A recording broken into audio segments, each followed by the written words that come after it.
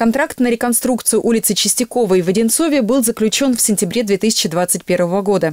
Изначальный срок завершения работ планировался на конец 2023 года.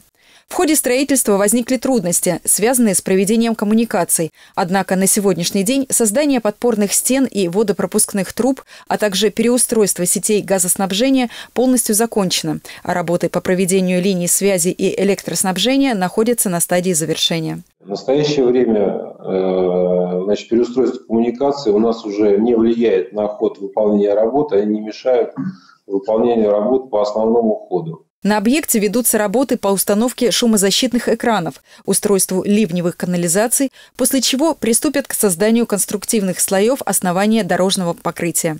Работы осуществляются в соответствии с графиком. График производства работ предусматривает окончание полностью строительства этого объекта э, до 1 июля э, текущего года.